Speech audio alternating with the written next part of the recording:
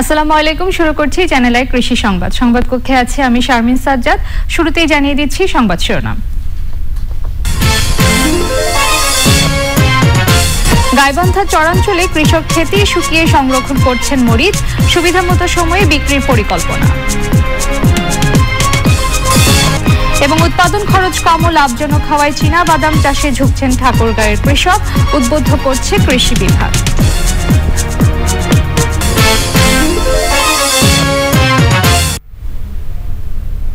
সংবাদ শিরোনামগুলো জানাচ্ছিলাম এখনকার এই সংবাদ আয়োজন একই সঙ্গে চ্যানেল আই অনলাইনের লাইভ টিভি এবং চ্যানেল আই অনলাইনের ভেরিফাইড ফেসবুক পেজও সরাসরি প্রচারিত হচ্ছে।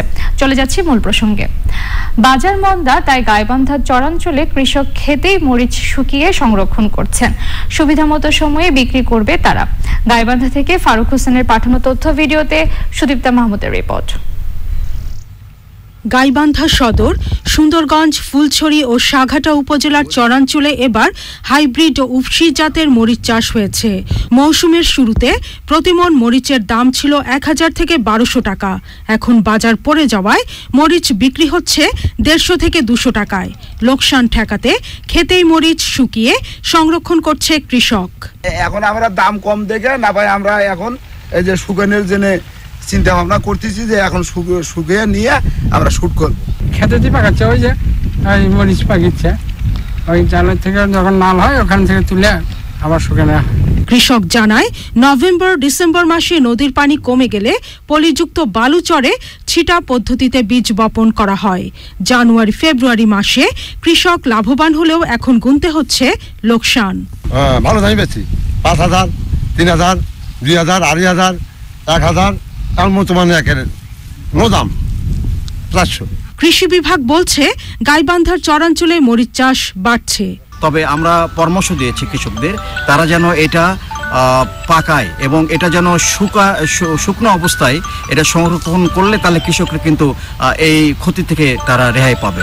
এবং এটাই কিন্তু করছে আমাদের পরামর্শ মতে আমরা উপসহকারী কৃষি কর্মকর্তাদের মাধ্যমে আমরা রুট পর্যায়ে আমরা পরামর্শ দিচ্ছি কারিগরি পরামর্শ দিচ্ছি যাতে তারা লাভবান হয়। চলতি বছর জেলায় তিন হাজার একশো পঁচাত্তর হেক্টর জমিতে মরিচ চাষ হয়েছে।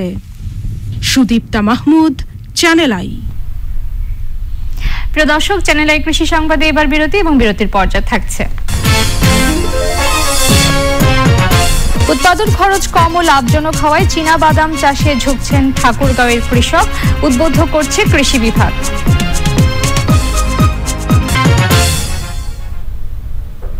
বিরতির পর চ্যানেল আই কৃষি সংবাদে আবারও আমন্ত্রণ।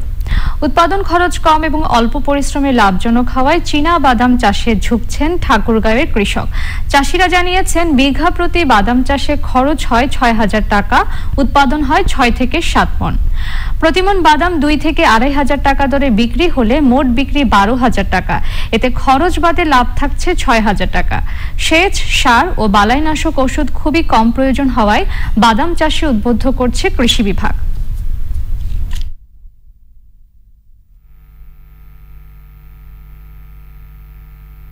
কয়েক বছর ধরে আমরা বাদাম করে লাভবান ভালো হই, ফসল ভালো হয়। এটাতে খাটুনি কম, কিন্তু কোনো ঝামেলা নেই। হাটে বাজারে বিক্রি খুব দ্রুতভাবে হয় এবং আমরা এটাতে যে গতবারে দুই, এক বিঘা আমরা করছি, দুই বিঘা বা আড়াই বিঘা করছি, মোটামুটি সত্তর আশি হাজার টাকার মতো আমরা পাইছি। সবশেষে শিরোনামগুলো জানিয়ে দিচ্ছি আরও একবার।